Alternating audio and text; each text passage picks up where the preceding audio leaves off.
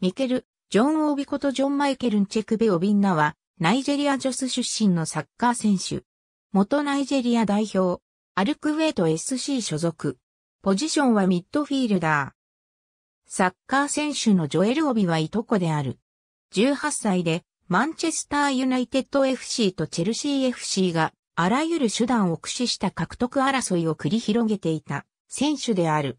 主に中盤の底でプレーし、ドリブル、スルーパス、FK とハイレベルなスキルを備える。2005FIFA ワールドユースでシルバーボール賞を受賞した。元マンチェスターユナイテッド監督のアレックス・ファーガソンが3年もの間追い続け、2005年4月末にマンチェスターユナイテッドが彼の獲得で FC リンオスロと合意と発表したが彼の所有権はリンではなくチェルシーが持っていたためチェルシー側がこれを不服として抗議結局この遺跡は取り消された。その後金の積み合いとなったが、最終的にチェルシーが1600万ポンドの移籍金で獲得した。しかし、マンチェスターユナイテッドとの関係を悪くしないようにするためか、移籍金の4分の3の1200万ポンドは、マンチェスターユナイテッドへ、残りの400万ポンドが、ミケル自身に渡されることで決着した。チェルシー加入後は主に控え選手として試合に出場していたが、レディング FC 戦でレッドカードを提示され、退場となってしまった。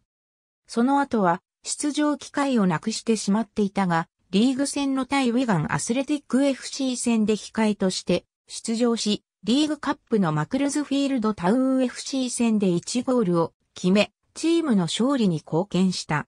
2017年1月6日には11年間在籍したチェルシー時代に別れを告げた。同年、中国の天津安したち足玉クラブへの移籍が発表された。2019年1月24日、ミドルスブラ FC に移籍した。2020年8月17日、ストークシティ FC に移籍した。2021年7月1日、アルクウェイト SC に移籍した。